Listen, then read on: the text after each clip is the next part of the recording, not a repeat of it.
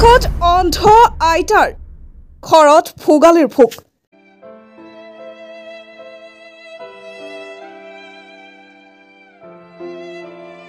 সংবাদ মাধ্যমত প্ৰচাৰ হৈছিল বঙাইগাঁও জিলাৰ কাকৈজানাৰ এগৰাকী অন্ধ আইতাৰ কৰুণ কাহিনী। ৰেচন কাৰ্ড থকাৰ পিছতো দুবছৰে লাভ কৰা নাছিল সুলভ মূল্যৰ চাউল। ঠাণ্ডাত ল'বলৈ নাছিল এখনো গৰম কাপোৰ। ভোগালী বিহুত নাছিল আনন্দ।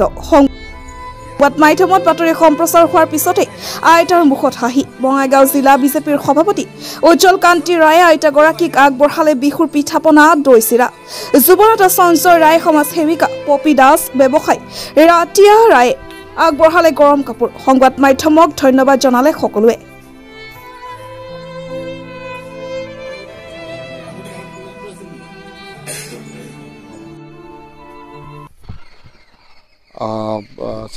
আপোনালোকৰ জৰিয়তে আপোনালোকৰ সাংবাদিকৰ জৰিয়তে আমি কথাখিনি গম পাইছোঁ যে এনেকুৱা ধৰণৰ এইটো অঞ্চলত আমাৰ অঞ্চলতেই এগৰাকী আইতা এই চৰকাৰী সাহায্যৰ পৰা বঞ্চিত হৈ আছিল আৰু একেবাৰে অসহায় অৱস্থাত থকা আইতা এগৰাকী।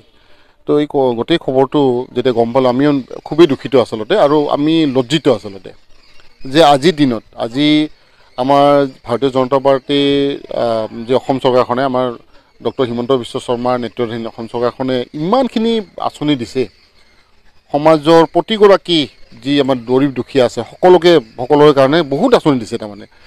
এই আঁচনিবিলাক দিয়াৰ তৎসত্বেও এইগৰাকী আইতাই কিয় বঞ্চিত হৈ থব থাকিব লগা হৈছে? সেইটো খুবেই আচৰিত কথা আৰু দুখজনক কথা আচলতে। তো যিয়ে নহওক আপোনালোকৰ জৰিয়তে আমি কথাখিনি গম পাই আজি মাঘ বিহুৰ প্ৰথম দিনাখনে আহিছোঁ আমি। তেখেতক কিছু সাহাৰ্য সামগ্ৰী দিলোঁ। এইখিনি যথেষ্ট নহয় কাৰণ অনাগত দিনবিলাকত যদি তেখেতে এই চৰকাৰী সাহাৰ্যৰ পৰা নিজৰ প্ৰাপ্য আচলতে প্ৰাপ্য যিখিনি অধিকাৰ সেইখিনিৰ পৰা যদি বঞ্চিত হয় তেতিয়াহ'লে খুবেই বেয়া কথা হ'ব। গতিকে আমি যাতে এই কথাখিনি আমি প্ৰশাসনৰ ওচৰতো আমি জনাম আৰু চিকিৎসা যি তেখেতৰ আচল চকুৰে নেদেখে গতিকে এই ক্ষেত্ৰত কি কৰিব পৰা যায়? আমি আমি এনেতো বহুতকেইটা প্ৰতিষ্ঠান আছে তেনেকুৱা চিকিৎসা প্ৰতিষ্ঠান।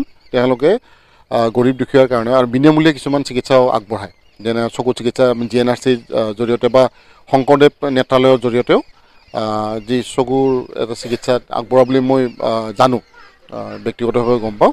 গতিকে এই ক্ষেত্ৰত যাতে আইতাগৰাকীও তেনেকুৱা ধৰণৰ কিছু সাহাৰ্য আগবঢ়াব পাৰোঁ তেনেহ'লে আমি নিজকে ধন্য মানিম। গতিকে আগত দিনত এই কথাখিনি আমি নিশ্চয় আগবঢ়াম।